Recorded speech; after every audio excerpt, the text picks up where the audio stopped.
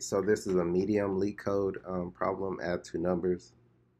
So basically they're giving us two linked lists um, with integers, non-negative, and they both will be non-empty, so we don't have to check for the edge case. Um, but they're stored in reverse order. So they, they want us to add both of these. So just think how you would add um, in Lasso, but really starting from the left. So seven so five and two, seven uh, is ten. You'll carry the one, and four and three plus the carryover would be eight. So it's really three, four, two, four, six, five, four hundred sixty-five equals eight hundred seven. But we're returning. They give it to us in reverse order, and returning the answer in reverse order too.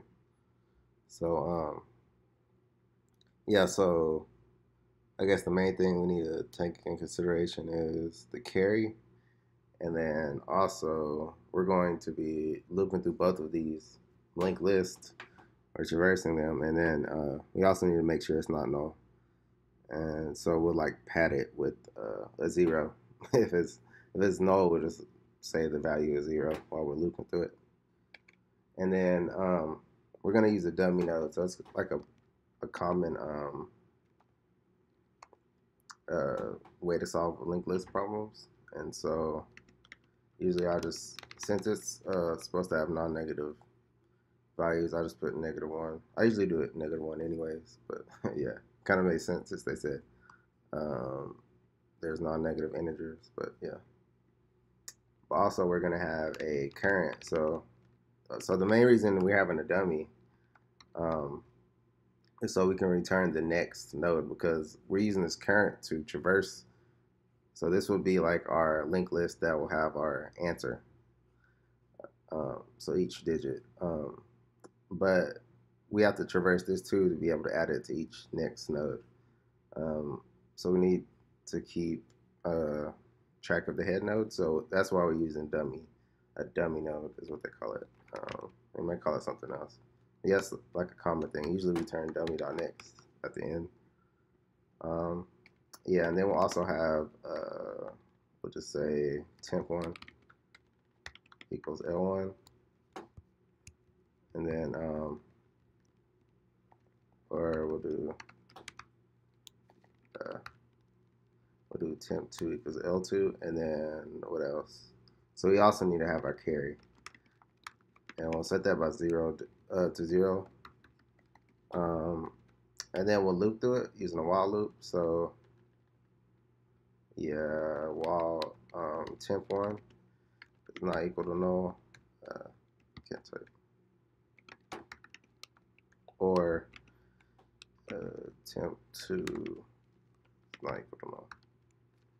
So one thing about using or and having both of these is that um, one of them could be null. So uh, that's where I'm saying we had to pad it. And there's not really a ternary operator. You want to do it in one line, but you could do if else in one line in Kotlin. So um, yeah, I would do val one, I guess for the first one. It was temp one. Uh, so with, so yeah, we'll use if else. If temp one, we'll just check again. if temp one is null, is not equal to null. Um, return temp one. We have to use the backticks uh, because val is like a reserved keyword in Kotlin, and they named it val. They should have named value or something. I don't know. Um, but else will return zero. And then it'll be the same thing um, for uh, the temp two. So we'll do, uh, and then we'll do temp one. And then, yeah, so, and then, so that will give us the values. But then we also uh, so now we need to add the sum. So the sum will be equal to 1 plus 2 plus carry, in case we have a carry.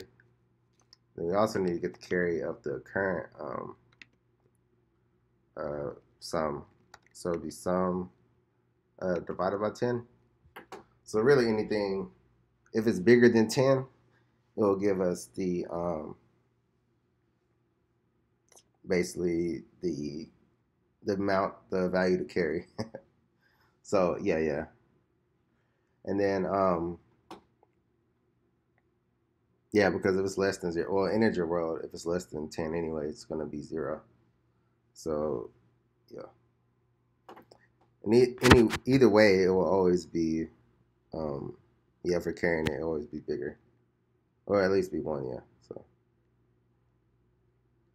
if we're going one by one, yeah, yeah. Because I mean, unless they have, oh, it's range one through a 100. Okay, Oh, the number of nodes, but it's one through nine. So yeah. Okay. Yeah. And then so um, after that, we'll set the current to um, and carry will be for the next iteration in case we need to add it.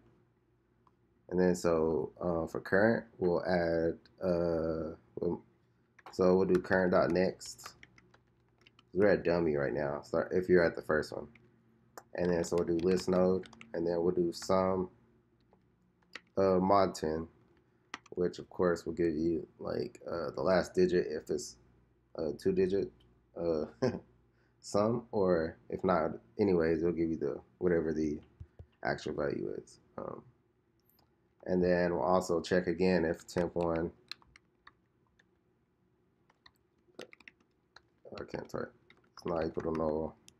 And if so, we'll do temp1 equals temp1.next. We'll just move it up. And then we'll do the same thing.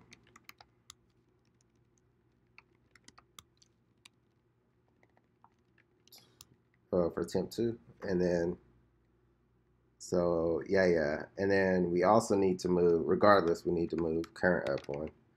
Current equals current dot next and then we'll uh